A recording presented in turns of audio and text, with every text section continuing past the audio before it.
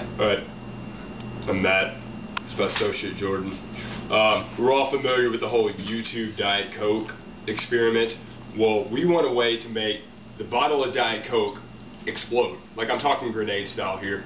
So um, we've developed a contraption, some sort. It's like a clip that goes in a pistol. Um, we have this baggy, uh, standard Ziploc bag cut. Um, we've got the Mentos loaded in there so we can easily insert the Mentos into the bottle and that way cap it as quick as we can and henceforth cause an explosion. So you ready to go test it out? Let's go. Let's go test this out.